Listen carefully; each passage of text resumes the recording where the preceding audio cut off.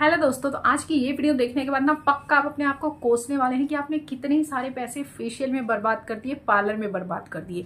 तो आज की रेमेडी आप एक बार ट्राई कर लीजिए, आपका चेहरा पूरी तरह से चमकने वाला और इसका जो रिज़ल्ट है वो लॉन्ग टर्म में बहुत ही ज़्यादा अच्छा है। अगर आप इसका यूज़ करते रहेंगे ना तो आपका स्किन कुछ ही दिनों में आप देखेंगे टाइट होगा, फर्म होगा, फेयर होगा।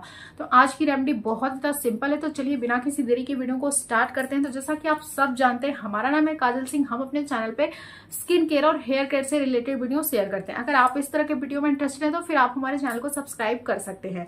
तो आज की रेमेडी बनाने के लिए है ना, सबसे पहले आपको लेना है मसूर दाल का पाउडर। अगर आपके पास ये नहीं है ना तो आप इसको बना के रख लीजिए, बहुत ही ईजी होता है। आप आप मार्केट से मसूर का दाल लेकर आइए उसको धोकर सुखाकर इसका पाउडर घर पे ही बहुत ही इजीली आप बना सकते हैं। स्किन के लिए बहुत अच्छे होते हैं। स्किन को फेयर करते हैं और आपके जो फाइन लाइन्स और रिंकल्स आ रहे हैं ना, उनको कम करता है, आपके साइन ऑफ़ एजिंग को रिड्यूस करता है तो ये आपके स्किन को टाइट करता है तो ये बहुत ही अच्छा होता है, ये फेस पैक इंस्टेंट ग्लो देता है आपको। तो सबसे पहले आपको यहाँ पे लेना है मसूर दाल का पाउडर तो आप एक बर्तन ले लीजिए उसमें अपने फेस पे जितना आपको लगाते होंगे, आपको अंदाज़ा होगा। तो यहाँ पे मैंने लगभग एक चम्मच ले लिया है मसूर का दाल का पाउडर जो कि आप देख रहे हैं ऑलमोस्ट ये खत्म होने वाला है। तो इस तरह से आपको एक चम्मच पाउडर लेना है। अगेन आपको उसमें ऐड करनी है थोड़ी सी कर्ड हमें आधे चम्मच ही दही लेना है।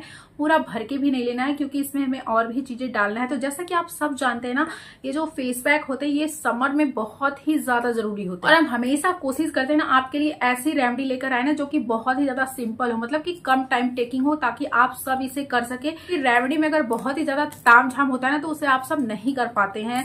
हम लोग देखते तो है वीडियो, लेकिन उसे छोड़ देते हैं। तो ये देखिए, अब इसमें आपको जो ऐड करना है थोड़ा सा आपको रोज वाटर डालना है।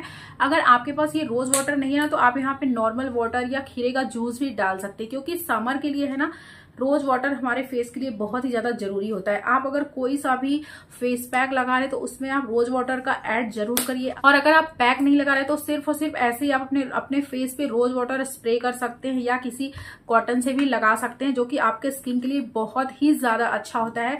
तो ये देखिए, अब इन दोनों चीज़ों को आपको अच्छे से मिक्स करना है। आप सबको पता है, हम रेमेडी ऐसे ही लेकर आते ना, ताकि आप सब उसे कर सके। और रेमेडी वही अच्छी लगती ना, जो कि दो से तीन चीज़ों में बन जाए और बहुत अच्छा इफ़ेक्ट दे सके हमारे चेहरे तो ये देखिए, हमारा जो फेस पैक है, बन के रेडी है। आप इस फेस पैक को रेगुलर लगा सकते हैं as a face wash use कर सकते हैं। मतलब जब आप नहाने जाते हैं ना तो इसको बना के लेके जाइए, लगा के जाइए। आपको फेस वॉश लगाने की ज़रूरत नहीं पड़ेगी। और कुछ दिन आप ऐसा करेंगे ना, आप देखेंगे आपके चेहरे पे अमेजिंग आपको फ़र्क दिखेगा। तो अभी जो हमारा चेहरा ना बिल्कुल साफ़ है तो चलिए अब इसे हम लगा लेते हैं। ये देखिए, आपको लगाने, लगाते टाइम में आपको इतना ये कूलिंग इफ़ेक्ट देगा। तो इसमें जो हमने दही ऐड कराया ना, वो बिल्कुल ठंडा है तो बहुत ही ज़्यादा अच्छा लग रहा है चेहरे पर इसको लगा के। ऐसे आप इसको लगा लीजिए। कोशिश करिए ना कि आप इसको थोड़ी मोटी लेयर लगाइए ताकि ये जल्दी ड्राई ना हो। अगर आप फ़ैन के सामने है ना तो फिर आप फ़ैन की स्पीड जो है थोड़ी कम कर दे, ताकि ये पंद्रह बीस मिनट आपके चेहरे पे तो रहे। तो इसमें रोज वाटर मिला है, इसलिए इसका जो फ्रेग्रेंस है इतना ज़्यादा अच्छा लग रहा है ना कि मन कर रहा है कि बस इसको अपने फेस पे लगा ही रहने दे।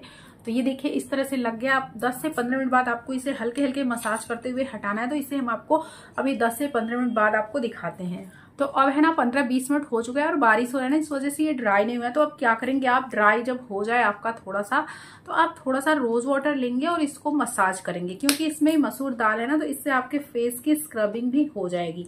तो ज़्यादा नहीं लेना है बिल्कुल आपको थोड़ा सा इस तरह से रोज वाटर ले लेंगे आप और इससे अपने चेहरे पे इस तरह से मसाज करनी है। मसाज करने से आपके फेस का जो ब्लड सर्कुलेशन है वो इम्प्रूव हो जाता है जिससे कि आपके स्किन ना ग्लो करती है स्किन में रिंकल्स नहीं आते हैं।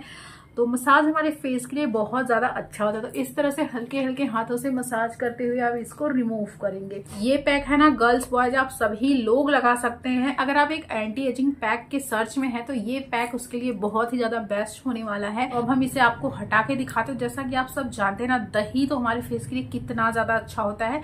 तो अब आप इसका रिज़ल्ट देखिए। देखिए। स्किन जो है कितना ज़्यादा चमक रहा है तो इसी तरह से पहले हम इसको हटा लेते हैं।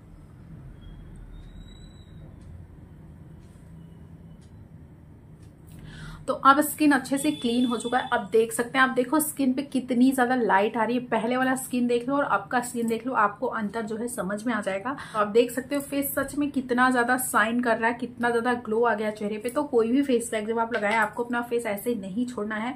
आप यहाँ पे कोई सा भी मॉइस्चराइजर का यूज़ कर सकते हैं और अच्छे से मॉइस्चराइजर लगाना है ताकि आप अपने फेस को, जो भी आपके फेस पे ड्राइनेस आई है, जो भी उसका ऑयल निकल चुका है, वो आपके फेस में फिर से बन जाए। तो बस इस तरह से आपको अच्छे से अपने फेस को मॉइस्चराइज करना। चाहे तो रोज वाटर लगा सकते हैं एलोवेरा जेल लगा सकते हैं, या फिर कोकोनट ऑयल लगा सकते हैं। और अगर हमारी ये वीडियो आपको पसंद आई है तो वीडियो को लाइक शेयर और सब्सक्राइब ज़रूर करिएगा। फ्रेंड और फैमिली के साथ भी शेयर करें।